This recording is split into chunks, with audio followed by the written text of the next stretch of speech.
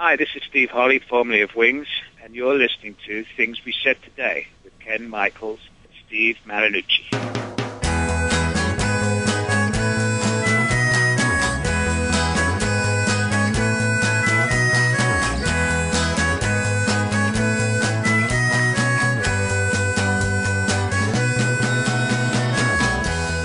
Well, hello, hello, and welcome once again to a Beatles program, a weekly show that we call Things We Said Today. This is the show in which we explore what's going on news-wise in the lives of the Beatles. I'm Ken Michaels, one of the co-hosts of the show, and you know me best for my Beatles program, my syndicated show, which is called Every Little Thing, and I'm being joined by my co-host, Mr. Beatles Examiner, that being Steve Marinucci. Hi, Steve. Hi, Ken. Hello, everyone. We've got a special treat for you on today's show because we have a special guest with us that we interviewed a few days ago, and that being Freda Kelly. And Freda was a guest on our show when she was here to talk about a documentary on her called Good Old Freda. And Freda was the Beatles fan club secretary back in the 60s, up through the end of the run of the Beatles fan club in 1971 and we had her as a guest along with Kathy McCabe, who's one of the producers for the documentary. And we got to interview her because the DVD for the documentary has just been released. And so we're going to play a healthy portion of this interview, not all of it, but um, it's going to be quite interesting what she had to say and sharing her memories of of the Beatles and also working for Brian Epstein. And your thoughts about interviewing Freda, Steve? What was really nice was that there's no pretense with Freda. I mean, she's very open and honest and down to earth, and I mean, just like she is in the movie, she's she's is in person, and that's what's really special about talking to Freda and and and you know the whole idea of the of the movie being made. There's really a uh, a little magic um, going on with this whole project, and and uh, it's really evident now, and. Uh, now that the DVD is out, now that everybody can see it, it just premiered on British TV the other night for the first time, and um, and so, I mean, everybody is getting to see it now, and everybody can can see how how it is. And she talks about her life, and she talks about the fact that a lot of things haven't changed, and she still uh, is still she still works mm-hmm. like you know like a, a lot of us do, and and so it's really it's really kind of special. She's she's a very special person. She's regular folk. She is. She is. They were very lucky to have her. Yeah, and uh, one word I always think of to describe her is genuine. She's the real deal. She really is. That's an that's a that's an excellent description. She's, and it was and you really I, I really felt that way meeting her in San Francisco uh, and the couple of times we've interviewed her now. Uh, she's really she's just incredibly genuine, incredibly. Yeah, I think that if anybody watches this documentary, you, you kind of wish that she was your next door neighbor. She's the type mm-hmm. of person you'd, you'd want to hang out with and uh, have a cup of tea or a cup of coffee with. Right. And according to, and you, as you'll hear in the interview, not much has changed. Uh, you know, the interview has put her name out there a little bit, but she's still the same person. It, it's really, it's really, um, it's really nice to see that too. Yeah, well, just to let you folks know what you're about to hear, uh, this interview is going to run roughly 35 minutes. We're just going to run it all the way through. She talks about a variety of subjects, what it was like uh, working with Brian Epstein, you know, how the Beatles were with the fan club. There is a story in there which we didn't actually get to explain what it was all about. So before you even get to hear it, which is much later on in the interview, she does talk about a moment when she fired – a few of the uh, women that worked at the office. It's actually volunteers that worked at uh, the fan club because they tried to pass off their own hair as being Beatle hair and mailing it to uh, a fan. So, um, just to explain that for people that don't understand what we're talking about when you get to that point in the interview. So, uh, why don't we just start with the very beginning here? And here is uh, Freda's explanation of whether or not Brian really enjoyed. I wanted to ask her if Brian uh, really enjoyed being a manager, and I, asked that question mainly because I know we all we all know he loved working for the Beatles, but he had a lot of other acts going on at the same time.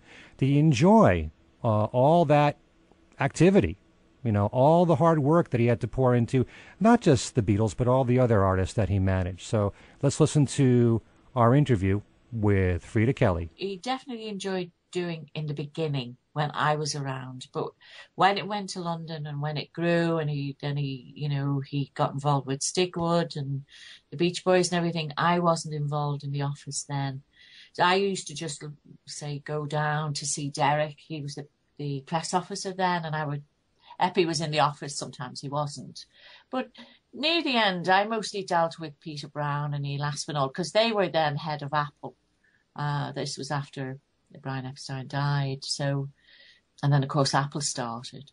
But um, I didn't really see him a lot near the end of his life because he wasn't mm. in the office very often. He he'd done a lot of work from his own house from what I can gather, you know, when Wendy Hanson was his secretary. You talked in the in the commentary about how different he was in the office and outside the office. Can you, can you talk a little bit about that? There was quite a difference. There was definitely, yeah, there was a big difference because you know he was the boss in the day, and in in those days, you know, you have to remember, I'm going back a long, long time. I'm going back half a century. Mm-hmm.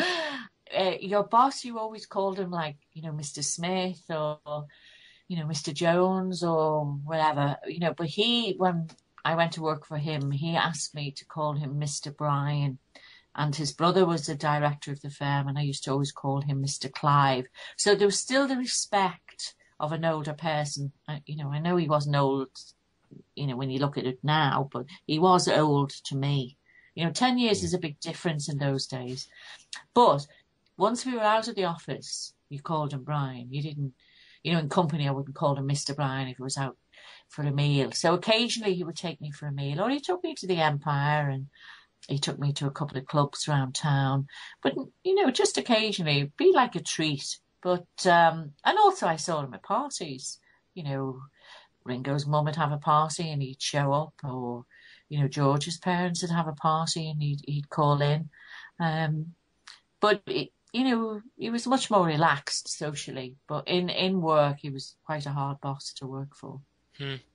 Did he share things privately with you? Or was no. everything just very much on a business level? No, with me in the just day, a... it was definitely on a, you know, I was just, you know, a young secretary, wasn't I? Right. Yeah. Do you think that towards the end of his life that he felt like he was less important to the Beatles? Because let's face it, the Beatles took off and they ev- eventually had more and more creative control over what they were doing, and maybe Brian had less and less of a say. Maybe he was disappointed about that, or or yeah. what's your take know. on that? I mean, it's not my place to say, I because I don't really know, and I wouldn't like to assume, you know. Mm. I know it's not the answer you want, but I, mean, I have to tell the truth. I have to tell the truth well, here, and I, I don't like assuming things. You know? You're staying even even with the DVD. You're staying pretty private. You're not on Facebook, even though the movie is. No. You are not. Steve, when when, when um, I was in, you know, I first went to the first festival in New Jersey. Mm-hmm. Uh, there was a, a, few people there said, "Oh, you should do Facebook. You should do Facebook and everything." And, you know, they kept on and on and on. And I thought, well, okay, you know. Um, but then when I came home, I, th- I thought about it and I thought, no, I don't really want to do Facebook. So I, I emailed them and said, thank you very much for all the hard work they've done. But if they, I hope they don't mind, but I, I don't want to do Facebook. And the reason why, it's not I'm being awkward or anything, but I work, you know, five days a week, seven hours a day on a computer. Um, I don't really want, I've got a, you know, as you know, I've got a computer at home, but I don't want to spend my spare time on that computer because I'm hmm. already on one in the day. Good for you. But also, uh, you know, can, can you teach us how to do that? and I'm hopeless on the computer. I use it as a word processor.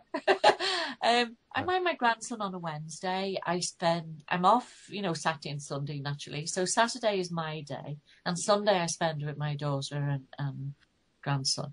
Um, in the week, I'm a social animal. You know, I like socializing with friends and going to the theatre and going to plays. I mean, I had a great time yesterday. Um, there was a thing on at the Cavern in the afternoon with all, you know, old 60s groups and uh, we were all there and started off at one o'clock at uh, lunchtime and I ended up at 1 a.m. this morning. Oh morning. wow.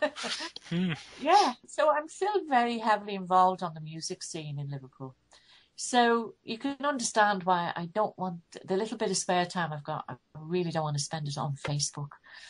Now I know, you know, I, you know, Ra- Rachel laughs, but that's my daughter because she said, you know, why don't why you should do Facebook? You should get you know in the modern world and all this business. You know, I still Rachel, I don't want everybody knowing, you know, what I'm wearing or what I'm having for breakfast or whatever. And then when the film come out and uh, you know the first showing of it, you know, you see me with the cornflakes and everything, and she just laughed. She said, "Well, you wouldn't do Facebook because you didn't want them knowing what you're having for your breakfast. You're just telling the world what you're having for your breakfast now." But, but uh, I mean, I you know, I'm not being awkward saying I like my privacy, but I do. You know, I I am a social animal and I do in, do like things, but I also like a little bit of privacy. Mhm.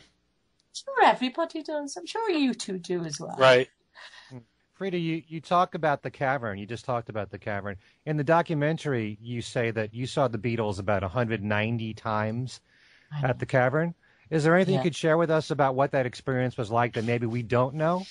Oh, I mean, you, know, did say that George did a dance during the Sheik of Araby, which I, I I'm trying to picture what it was don't I? I look so stupid on the film, don't I? Trying to do George's little dance. Uh-huh. But he always used to do like a little skip on stage, and I just wait. I mean, I'm no good at describing things. I'm not very good at that, but I just wish Beatle fans could see the raw Beatles. You know, the Beatles before they actually put the suits on and you know started doing all their singles on tour and everything. But I mean, you you will get a gist of it by this uh, this CD that's just come out. You know, the BBC Live. Mhm. I'm I'm playing that in the car and I'm getting so much fun out of that because there's an awful lot of George's songs, you know, in that in that CD. Listening to those CDs, um, you know, George is coming over. His accent, his Liverpool accent, is quite thick, you know, and uh, I I liked the way he spoke, and I think Paul comes over very quiet. Mhm. I don't know what you think of it, but he comes over as very somber, and I thought, my goodness, I never noticed that in George, in Paul. Huh. And I, lo- I love the two interviews with, uh, you know, well, I love the four interviews, especially the one with John, you know, because even then, John is so honest, isn't he? You know, he Hmm. just tells it as it is, and I like that. That's funny because I've seen some comments over here from people who haven't heard those interviews and they thought they kind of interrupted the the flow, but but you're putting it in perspective that you know that's more of the way they actually were. Yeah, yeah. Well, that's why I like it because now, you know, I mean, I saw Paul, I actually went to um, Japan because they bought the film and to promote it, they asked me to come out. Mm. They paid for me to come out, and they they got me a ticket to see Paul. Uh, you know, uh, I just went to see the concert and then I left. Um, but something like that, you know, I know Paul is great and, and Ringo's great and everything, but deep, deep down, when he does a, a Beatle number, I'm waiting for the other three voices to come in. So, you know, I, I, I, I say it all along, I'm a Beatle fan. I mean, I like some of Paul's stuff. I like some of George's. Well, naturally, I, I like a lot, you know, of John's and everything. But I still like the Beatles as a group. I like the music of the Beatles. I Hmm. like the harmonizing and I lo- I loved the way they bounced off each other. You know, the Beatles are, aren't just music. The Beatles are them, their personalities and the way they interacted with each other and the way they acted with other people. And it's not just one thing to me, Beatles. It's, uh, it's not just the music, which is fantastic, but it's everything about them. And I just wish Beatle fans could have seen the rawness, the real Beatles in the beginning in the cavern, you know. You'd all be hysterical. Hmm. because, you know, you, you know, the lunchtime sessions were very relaxed and um, you know, one of them would just crack a joke and then the others would all bounce off that joke and then the audience would bounce off it and they they'd go into a song then laughing, you know, or or they'd give up and you know halfway through the song because they were laughing that much and have to start again, or they'd say, "Oh, forget it, we'll do another song." So there was all that, you know, uh, which I loved. But that only happened at the lunchtime sessions. It didn't happen at the nighttime. Right. You so you didn't you didn't talk to Paul in Japan at all. No, no. What do you think of the show? Uh, I, I thought it was good, and uh, I, I'd actually got his new CD beforehand, so I brainwashed myself in the car a few days beforehand, so I knew the numbers. You know, I do like new. I, I do like that one, yeah. and of course uh, the other one um, about you know uh, what's it called, Julia, Julia, who's got the ball? It isn't in my pocket. You know that one. Queenie Eye. Queenie Eye, yeah. Yeah, I mean that's that's an old game and when I started singing it, you know, when he when I first heard it, my daughter said, "Oh, you know, you were quick learning those words," and I said, "No, no, I've no. This is a game from the '60s that we, you know, we used to play as kids." So uh, she didn't know it, but I knew it. Hmm, that's that's interesting. Yeah. That's a great that's a great answer. Um, the concert, I I liked the concert because. Um, I couldn't believe how long he played for. You know, I know it was the last one and he was recording it, but he'd done about 31 numbers and um, he'd done an awful lot of, of Beatles stuff, but old Beatles stuff, you know, which I liked. And also, there was only, I mean, I haven't got a lot of his albums, but of all the songs he'd done, you know, Beatles, Wings, and everything, there was only one song I didn't recognise, which I thought was quite good for me, because mm. he done Band on the Run and Ram and um, you know his new stuff, and but he'd done a lot of Beatles stuff. I know. But uh, you know, you you know, I looked and uh, you know, I was quite you know, I had a really good seat, so I could see him. But naturally, I looked at the big screen as well. And you have to get into your head. You know, he's 72 years of age. He's flipping good for that. Yeah. And Ringo is. I mean, I saw Ringo in Liverpool.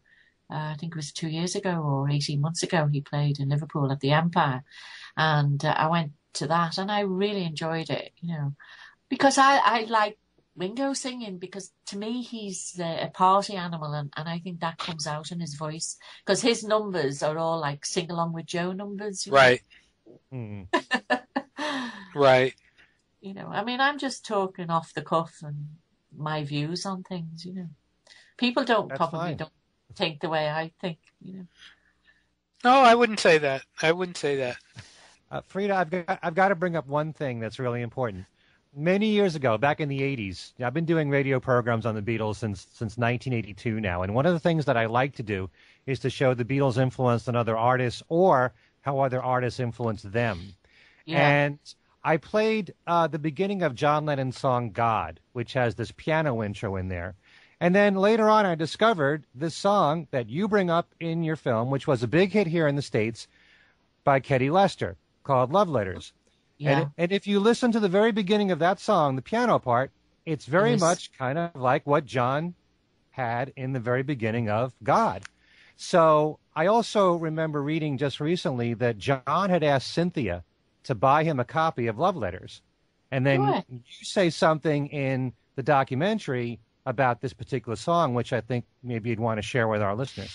Yeah. Well, the lunchtime sessions, when they ended, Bob Wooler, the DJ, played uh, just one song to tell you more or less, can you go back to work?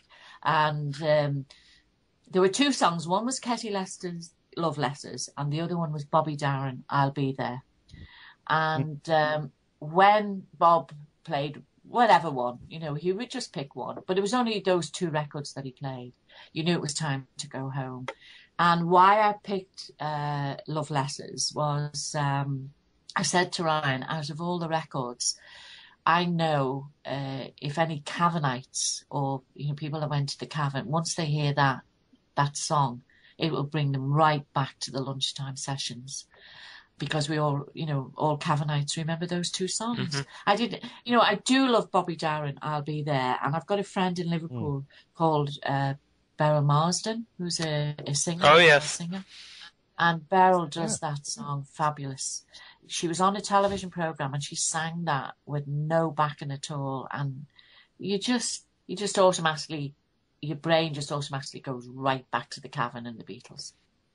Well, Gerry because, Gerry Marsden you know, sang it with the pacemakers. Yeah, but I mean, I just like the two original numbers. You know, by the by those two artists, Ketty Lester and Bobby Darin. But were those two songs songs selected by the Beatles or just by no, Bob Wooler? No, no, Bob Wooler. Bob Hmm. Wooler. And rather than Bob get on the mic and sort of say, "Come on, all clear off, all go home," you know, or all go back to your office jobs or whatever, he would just put the record on. And when either of those two, and when he put it on, you just automatically knew um, time to go back to work. because all the groups they used to practice in the cavern, you know, after the lunchtime session. The lunchtime sessions finished a quarter past two, and then they would stay. Other groups would just stay then and and rehearse in the cavern because you see all. Well, there's quite a lot of black and white pictures of the Beatles in the cavern playing, rehearsing. So you know, um, that just shows you that that's what they've done, and, and other groups done it as well. You know, sometimes um, when I, you know, I, I was just running the fan club, and then I was still in Liverpool, and naturally, you know, I would go to the post office or whatever. Now, I my office was quite near Mathew Street, where the cavern is, Mhm. and I would walk past the cavern, and you could hear people um, practicing. Sometimes you'd wander down and just see who was on stage rehearsing, and then you just walk back up, you know, because there wasn't any bouncers or anything in those days. You could just walk in the cavern for free then in the afternoons. I don't mean when people, you know, in the lunchtime sessions you had to pay. Um, but, it, you know, the, the cavern wasn't locked or anything. And so if you heard music, you would just go down and see who was practicing. How would you describe the difference? I mean, we've heard the the Hollywood Bowl recordings and um, you know and how they sounded in '64 when they were on tour. How would you describe the difference between the way they were in '64 in the U.S. and the way you heard them at the Cavern? Uh, well, I, I can't really remember that record to be quite truthful. Okay. The one talking about. because I, you know, I mean, I I on my phone now. I mean, I've got a lot of Beatles stuff on my phone. so when I'm I'm on a plane or somewhere like that, I don't watch films. I just Oh, okay. stick the earpieces in and listen to, listen to their records or the old stuff. You know. But I mean, in 1964, there was to me there was still, you know, they weren't as polished as they were later on. Mhm. You know. And I, I- I'm not being disrespectful there about, about saying polished. I mean, to me there was there was still the rawness, a little bit of rawness still there, and the enjoyment, you know, of touring and visiting countries. Until you know it got a bit too heavy. How raw, how raw did they sound when you remembered them at the cavern? When you heard them at the cavern, though, that's I think that's what I was trying to. That's what I was Oh, trying to. right. Yeah. yeah, yeah. It's just, I know, probably it's a wrong word saying the rawness, you know. Um, well, I just remember, I don't remember the exact day, but I remember going down to the cavern with the two guys that I worked with, and you know, Steve, it just hit you, you know. Uh, you just when when you saw them on stage and just the repartee with with each other and the f- the way they communicated with the audience, the way they dressed, and they just stood out from everybody else. I mean, we had a lot of groups around town. You know, Richie was in uh, Rory Storm, the Hurricanes, and they were uh, a good group. But they were, you know, they had like the shiny suits, and Gerry and the Pacemakers were cleaned up. You know, they had the red V-neck, um, not um, jumpers, you know, with no sleeves. You know, pullover things. Mhm. Uh, Dave Williams, his group, you know, they all had suits from, all looked very clean cut, you know. Mhm. I saw a picture of them the other week and I thought, oh my God, they all look ready to go in the army, you know, the short back and sides. um, so the Beatles just stood out so, so different. And y- you wanted to be part of it, you know. Anybody that saw them, you just wanted a bit of what was going on at the time. Can you compare what it was like when Pete Best was with them to when Ringo joined? Well, I mean, you know, I'm still very friendly with Pete and his brother Roag. I mean, I saw Pete play uh, in September. So, you know, Pete Pete had his following in Liverpool. He had a big following, a girl following in Liverpool.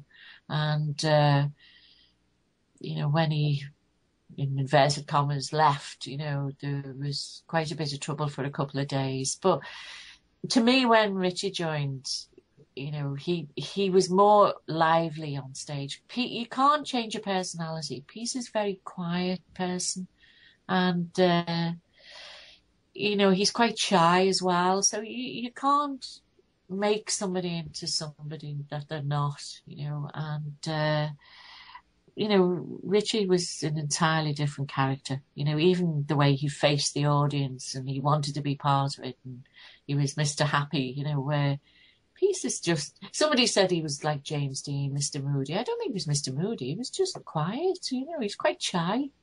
Hmm. The only way I can describe it, and I have done it on a question and answers, is a jigsaw, and you've got the four corners. And Richie joining them, I think that piece just fitted in perfectly to the corner. Right. Yeah, that's what that's what Okay. Lewisohn says too.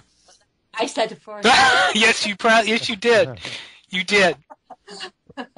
I didn't rob that. No, you no didn't. you didn't. No, you didn't, Freda. You didn't. There's um there's a couple of stories that you've brought up recently since uh, the the movie came out. I remember reading something where you said that when you were in the film Magical Mystery Tour, that you ended up wearing the same clothes every day. you know, you want to tell the story about that? Yeah, well, I mean, you know, I'm a typical girl, so I'm into fashion and, you know, all my money went on dresses, so your wives will understand where I'm coming from. And, uh, of course, fashion was changing in the 60s. I mean, you know, we had Mary Quant and, you know, there was the minis and I was into all of that. I bought a dress every week, I think. And, um, when I found out I was going on this trip for two weeks, well, originally it was for two weeks. So I had a dress for the day and a dress for the night, and no, you know, Miss Glamour I was. And um, so I put my most rubbish dress on for the first day traveling, as I thought.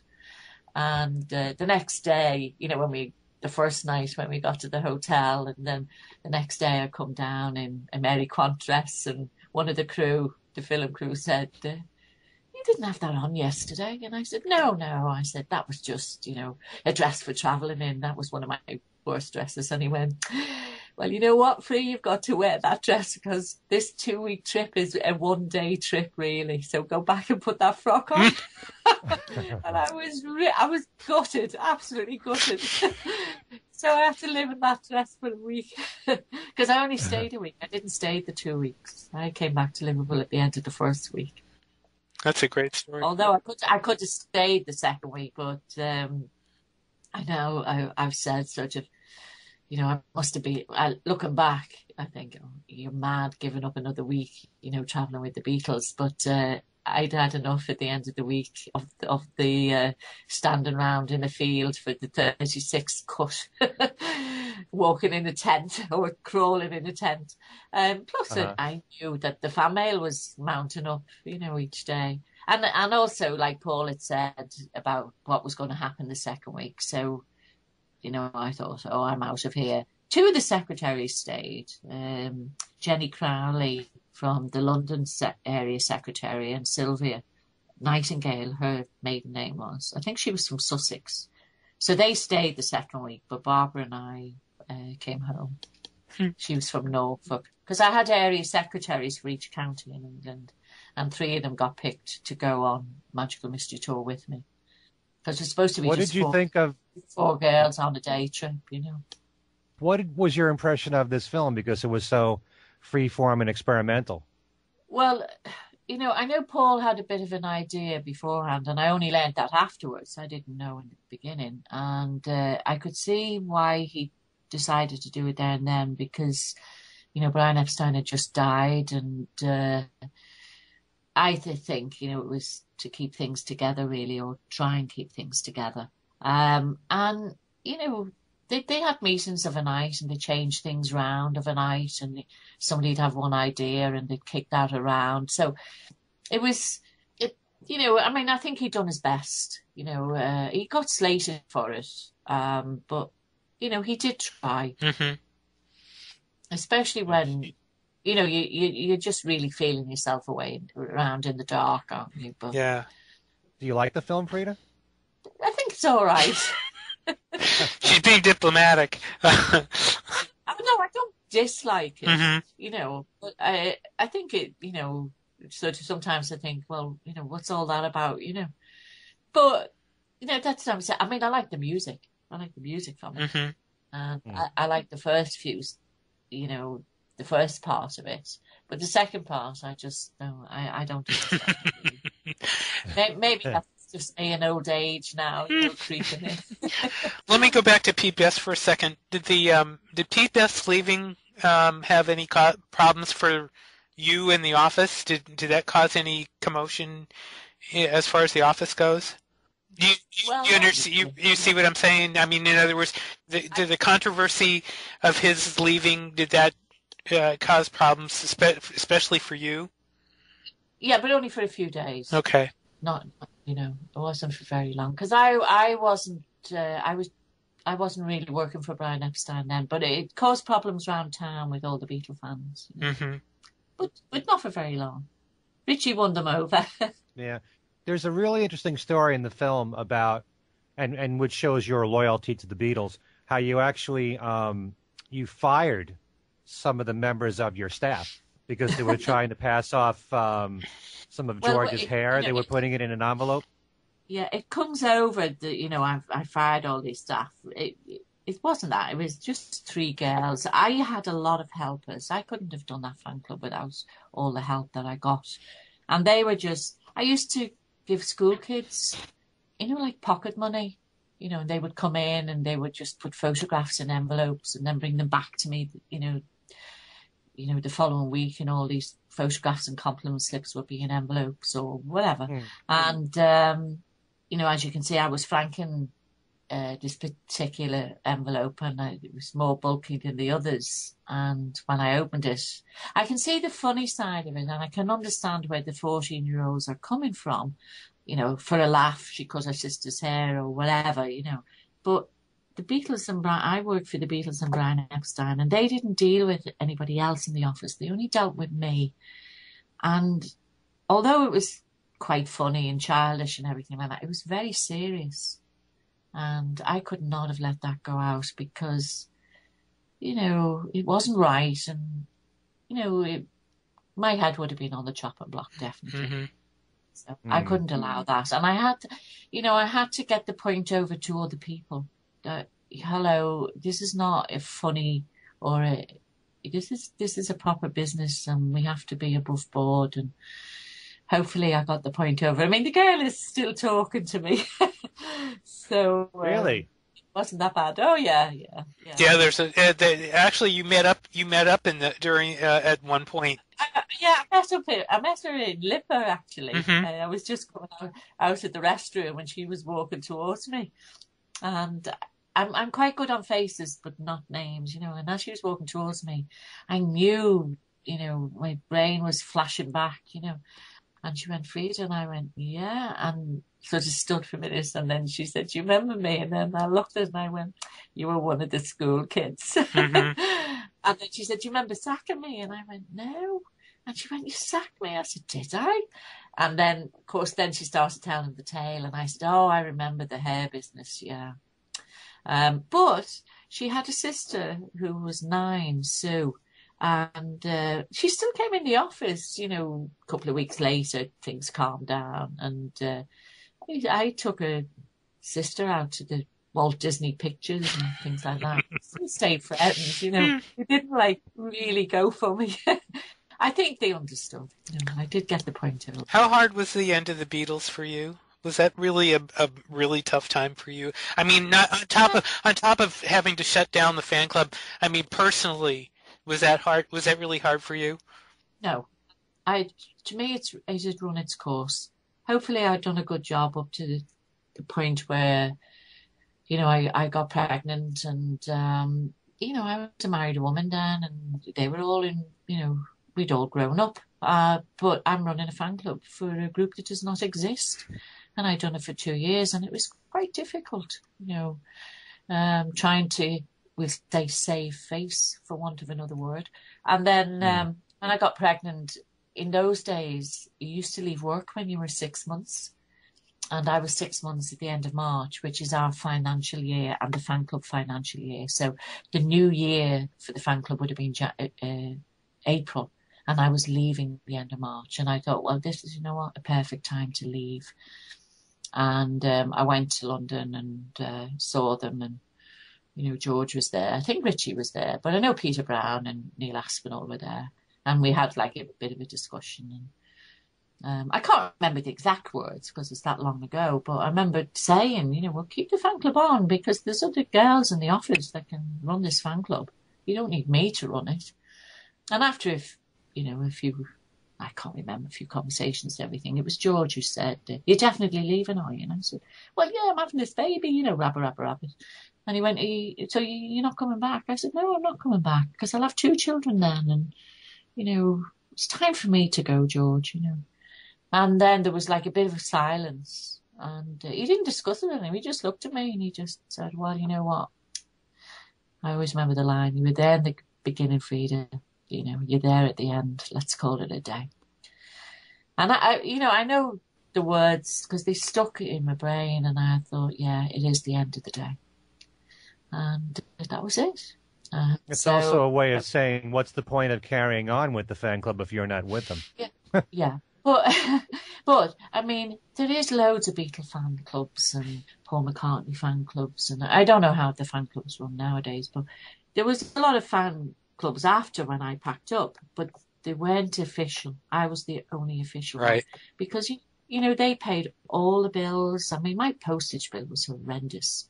Um, that and that's just postage besides your stationery and everything else and uh, they picked the tab up for all of that. Their company picked the tab up for all of that. So they, I think, they gave their fans quite a lot. I mean, we used to charge something silly like five shillings to join the fan club.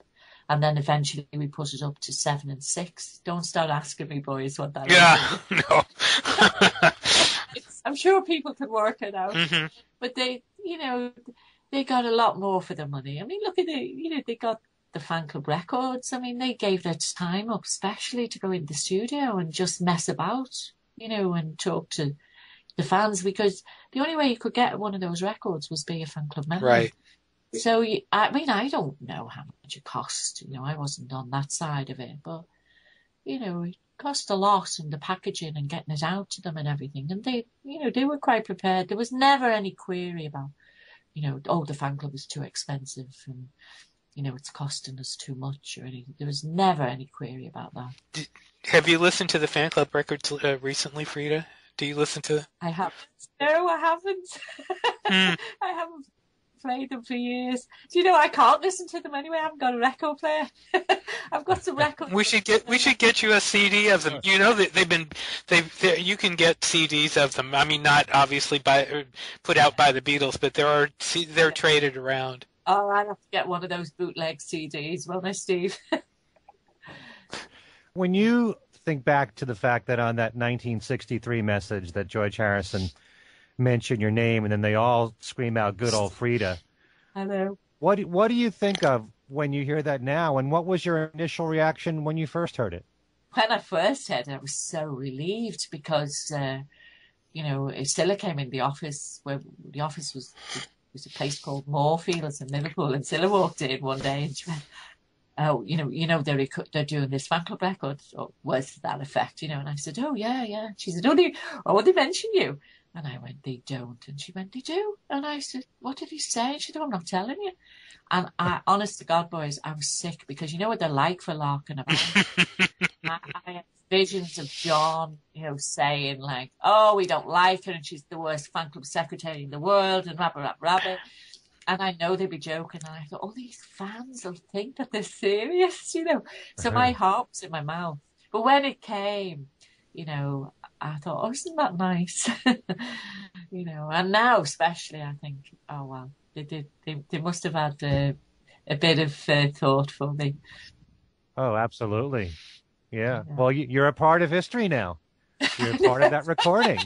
I'm nearly an antique. I mean, you know, where I lay low, for want of a better word, for 40 years and just got on with my life and everything. And, you know, now my family's grown up and I've got a grandson and, you know, and all this has now come to light. I never ever imagined, you know, that this would happen with the DVD because seriously, it was just a little DVD. We'd say to sit on the couch and just talk because I didn't want to write a book or anything. So I said to them, yeah, well, I don't mind talking because, you know, I'm good at talking and, uh, yeah. you know, just tell a tale. So Niall knows what I've done but I, you know, even now, I just think it's amazing, really. You know, I mean, you know, all these Beatle fans, you know, club together and I couldn't believe they put this target in, you know, to kickstart, and I thought, you know what, they'll never hit that target. Right. when they've done it, you know, and I have enjoyed, say, my second time round with the Beatles because everybody, and I'm not just saying this because you're on the film, but everybody has been so nice and just the amount of support I've got, like from the two of you. I know, Steve, that you've done a hell of a lot, and you, Ken, as well. But everybody else, you know, it's just amazing to me. And I, I just can't see, and I don't mean this disrespectful to people or anything, but I can't see what all the fuss is about. Because to me, it's just a little tale. It's no gossip. It's no, you know, spilling all, which I'm sure, you know, people will know that I could, and I don't want to. I don't go down that road anyway. So I didn't think it would take off as big as it did. But I wanted to get over to people about the parents, not just my story. It is my story. It's not a Beatles story. It's my story for my grandson and Beatle fans. But I wanted to include the parents because, you know, the parents had a, a lot in this story. And I don't think uh, people had picked up on that. Mm-hmm. So I wanted to show that side of them as well. And I also wanted to show them, hopefully, as I know Paul and I know Ringo are we say icons, you know, and they're very, very famous and everything like that. But I, I wanted the Beatle fans to see that, you know, hello, they were just normal lads in the 60s and human beings and, you know, lived like everybody else. And so hopefully I've done that. I think that's one of the charms of the film, Freda, is that you are the same person that you were then. And it comes across in the film and, and Ryan and Kathy and everybody uh, you know involved with the film has has done a marvelous job, as have you telling the story, and that's because uh, I took my wife two days after I met you in San Francisco. I took my wife to Berkeley to see when Ryan was there, and she was astounded, and all we could do was talk about the film on the way home. oh, well, that's nice. Thank you. Um, and hopefully I haven't changed. I wouldn't like to think I've. No, I don't. Uh, it, it doesn't seem. I mean, uh, compared to what we see in the film, no, it's not. It, there, there's no change. You're still. I mean, just sitting here talking to you like this, it, it's it's like watching you on the film. You know, it really is. So. Yeah. Well, oh, that's good. That's good. So.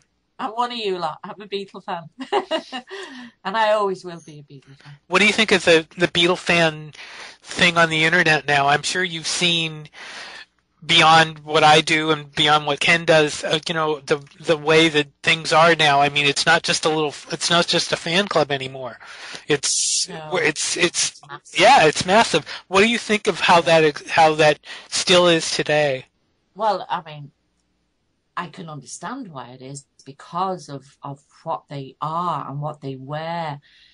Nobody will come up to them, to me, mm-hmm. you know. Um, just, you know, you, you, people say to me, one of the questions it's always like, what's your favourite Beatles song? And now I think that's just, you know, no disrespect to DJs, but I think that's a silly question because I think, how can you pick one favourite Beatles song with all that material? You can't.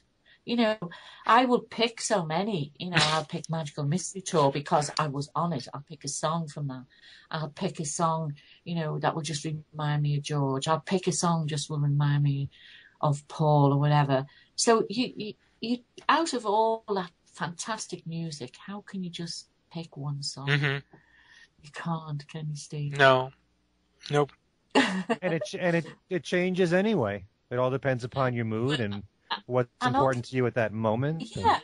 yeah, and also, you know, I came back from Japan and um, I uh, they they speak English. A lot of them speak English, and you feel terrible because you can't speak their language, or you know, you try and just say hello or goodbye or whatever.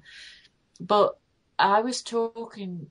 I think it was in San Francisco. I talk was, was talking to an Iranian guy, and he was saying like how he learned to speak English just through Beatle music. Mm-hmm. And there's a lot yeah. of people. you know, I went another place and I knew these people could not speak English at all. You know, it was in Eastern Germany, and they, they when they were at school, they didn't learn English; they learned Russian.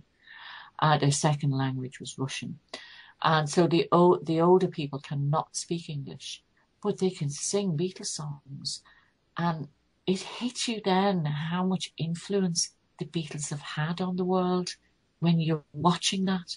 You know, I was in like in a theatre with all these people and they're all singing the Beatle numbers and everything. And I knew flipping well that they couldn't speak English and I thought this is amazing. You know, they've picked all these words up. That's what I've heard about the, the Beatle convention in, in uh, Liverpool every year. When you have bands from all over the world and some of them don't know English, but they're singing Beatles songs. So somehow they're studying phonetically yeah. what the Beatles are singing. So that's that they're just copying it. Yeah, yeah, but they're they're also picking up the languages they're doing it, which is fabulous. Yeah, hmm. it really is. So, are either of you going to New York in February? He is.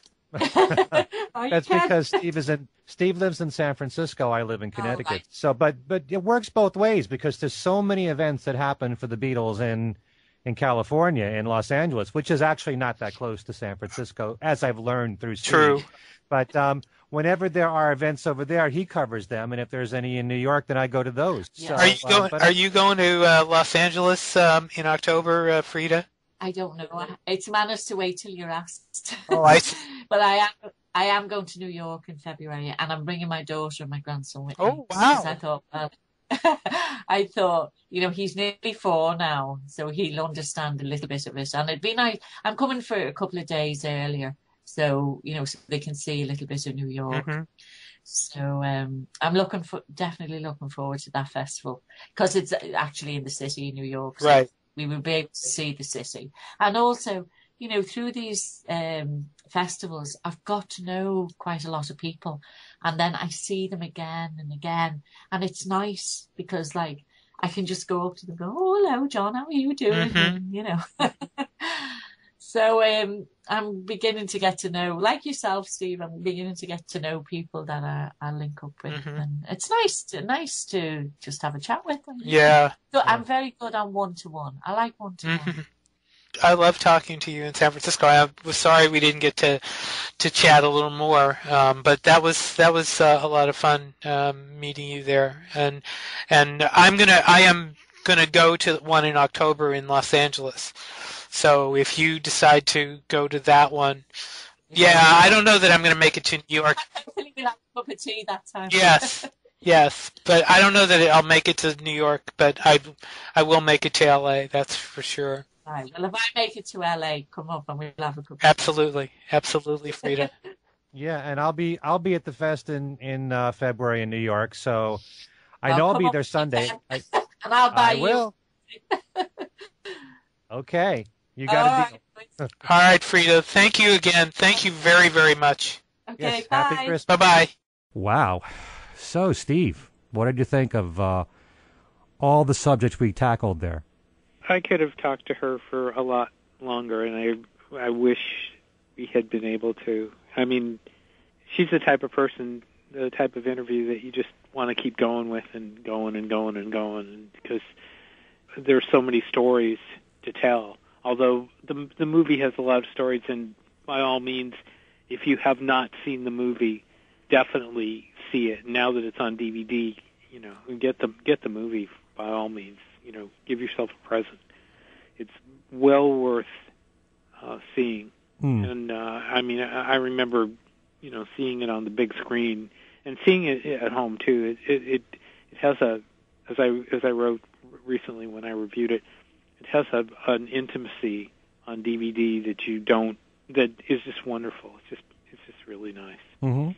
Yeah, I particularly liked, among many things that we covered there, when she talked about what it was like at the Cavern, and how the Beatles used to joke around on stage, and very often would would crack up and in the middle of a song have to stop it, and then start the song all over again, mm-hmm. and have that kind of rapport. They had a rapport with their audience.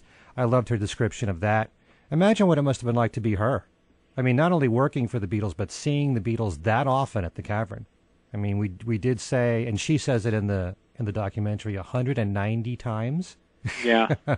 boy, don't we wish it, you know uh, that's just amazing. I the the one thing that that struck me was how she has managed to, even though despite the tide of you know modern tide to to be out there and to be a, a social person, she's not, and as and she's she's kept to she's kept her privacy.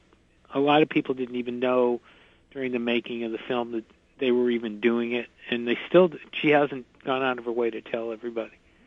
So, and I think that's very cool. I think that's you know that's indicative of the kind of person that she is. And she still is pretty private. I mean, she's careful about the things that she says. So when she does say a few things that are revealing, it makes it even more special. Well, and and she uses in the movie and in a, in our interview, she she said a couple of times, you know, I don't want to go down that road, and mm. she's yeah, she's very she knows where to stop, and she even now when she could say basically anything she wanted wants to, she doesn't. She still has boundaries that she won't go past, and that's that's something that you don't find very often these days, especially by someone who is not the person themselves. In other words, you know, she was not a Beatle. However, she was so loyal to them and still is that she won't, you know, go into the uh, for the lack of a better term, the Albert Goldman area. Uh-huh. She'd never, she'd never, ever, ever do that. Well, she hasn't even come out talking about them till now. no, and in fact, there are moments in the film where, and in fact, she she talked about it uh, when I saw her in San Francisco when I saw the film the first time. You know, there are there are little clues in the movie about certain things, but she will not. She even then she did not go past those clues. She did not come straight out and say anything. So she's just a, a, the the key. The word genuine is is the real is the word. Uh huh. Really, the word. I can't think of many people who you could say spent a lot of time with the Beatles that hasn't tried to cash in on it. And she's, I don't know, how many besides her are there who had not some sure, kind... I'm not sure there are really any. And you know, it it it was interesting when she kept talking about Peter Brown. Uh huh.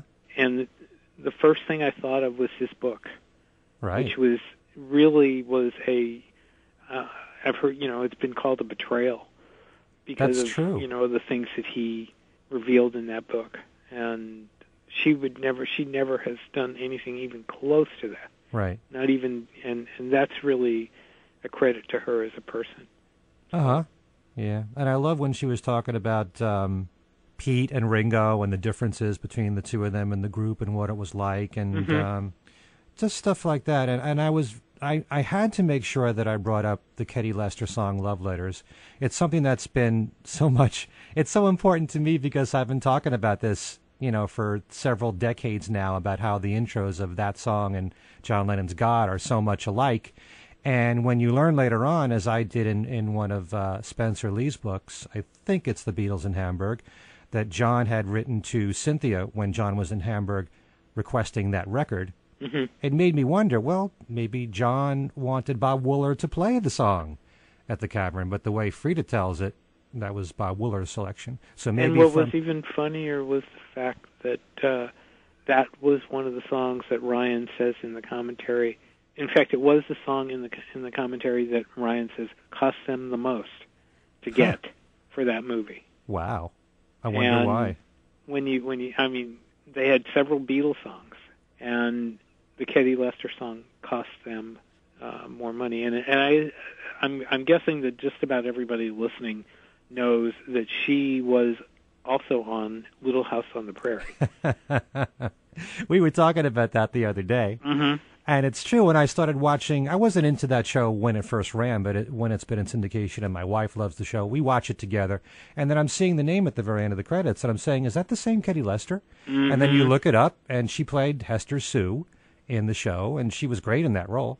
She was. And uh, no, she had the hit with uh, "Love Letters," which a lot of people, a lot of music fans will also know that song, "Love Letters," was also a hit for Elvis Presley.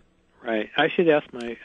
I don't recall her singing during the series. I'm, I'd have to ask my. My wife is a devoted Little House fan. I'll have to ask her if if she ever sang. Right. I'm. I wouldn't. It wouldn't surprise me though that it, at some point she, or she did sing. Uh, it wouldn't surprise me that at some point she she sang on that show. So Yeah, but I always love learning where uh, the Beatles got certain ideas from, and by no means do I even know for a fact that John that he was influenced or the beginning of God was influenced by that song, but it certainly is similar. But when you hear certain things like um, the beginning of some other guy, those two notes, and then John applied that to the very beginning of Instant Karma, that kind of thing, I find really fascinating. hmm Yeah, there was a there was a um, I found a uh, a thread on the Steve Hoffman board recently about that, and I and I wrote about it. And yeah, there's a there's a whole string of those coincidences like that. Right. And it's it's very interesting that uh, that that happened. I I don't hold maybe as strongly as you do that they, that all those songs were directly influenced like that, but I'm with a couple you can definitely make you can make the case. There's the uh, Dave Brubeck song. Um, Mhm. I can't I can't remember the, the title of it off the top of my head right now. That has a similarity um, that really does is very close. And um, You mean to, I think it's All My Lovin', right? mhm, there, Yeah. yeah, Mhm. There, there's a few musical notes strung together that that's reminiscent of the melody, part of the melody of All My Lovin'. right there we go. Yeah, and that that one I think is probably a better case than some others, but neither here nor there anyway. But I, Hmm. no, I, I it was great. And the other thing, uh, one of the other interesting points in the discussion um, was how Brian was different in the office and outside the office. Right. He was he was a markedly different person, but uh, apparently the pressure had a lot to do with that, and I'm that's not surprising. Yeah. Well, the Brian Epstein story to me gets more and more fascinating because just to be the manager of the Beatles alone was, you can imagine the responsibility there, and then he took on all these other artists. Yeah, For and- someone who didn't have any managerial experience before this. and having seen the graphic novel for the fifth Beatle movie that's coming, Uh huh. that it's also there's some of it in there. The movie itself is going to be even more interesting as far as that goes uh, to see how they play that.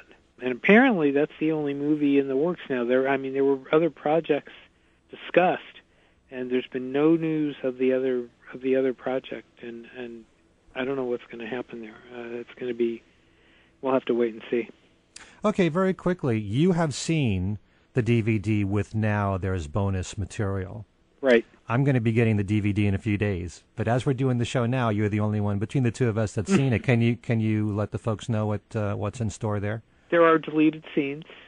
Some of the scenes are are interesting. Uh, there's usually in some of those deleted scenes, or sometimes you can see, you can wonder why some of the scenes didn't get left in, and there's maybe one in there, but most of the scenes didn't uh, work as well in the flow of the movie, at least to my way of thinking, and, they, and it was right to leave them out. But I'm glad that they that they put them in there.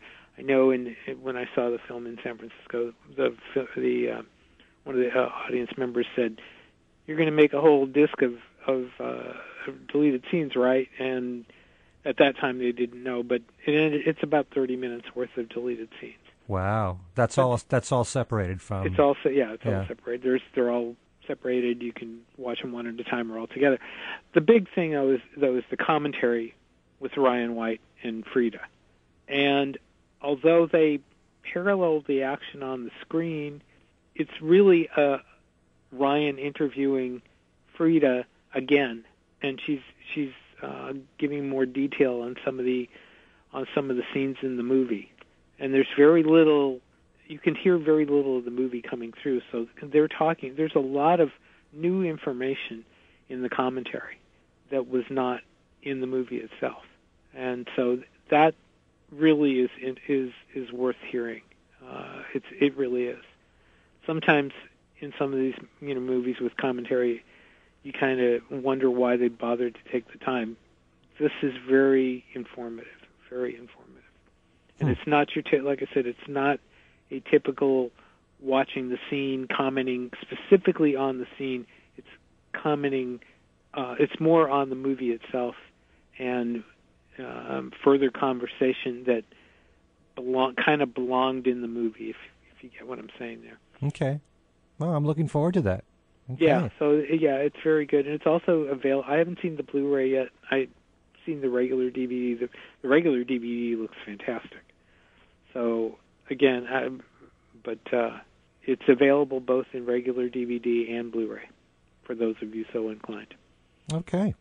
So that puts a wrap on this show. And if any of you would like to get in touch with us, you can write to us at our email address, which is, tell them, Steve. It's things we said today radio show at gmail.com. And you can also catch us both on Facebook under our names. Mhm. And we are there uh, all the time. Uh, we have a we have a, a page on Facebook that the show does. You can send us a question there, and we promise we won't ignore you. We uh, we make a point to to answer any questions. I'm always getting comments and questions from people all the time, and I will I will answer you. Right. Or we could answer it on this show. Or we should can start doing that. show. We've Yeah. never had a letters. We've never done a letters show. Or we could just do one letter per show. There we go. We could. Okay. And if you want to get in touch with me, my email address is everylittlething at att.net. And be sure to check out my own website, which is kenmichaelsradio.com. There's interviews in there with lots of people connected to the Beatles, most recently with Mark Lewisohn, uh, Julian Lennon. These are all people that Steve has also interviewed by himself. Yep. And um, there's all kinds of trivia every single week and occasionally special contests, which I give away very unique items connected with the Beatles. So, by all means, please, if you can, take a look at kenmichaelsradio.com. All right? So, uh, thanks so much for listening. I'm Ken Michaels for Things We Said Today. Thanking everybody for tuning in. And I'll see you next time. And this is Steve Marinucci for Beatles Examiner Steve Marinucci uh, for Things We Said Today, and we'll see you next time.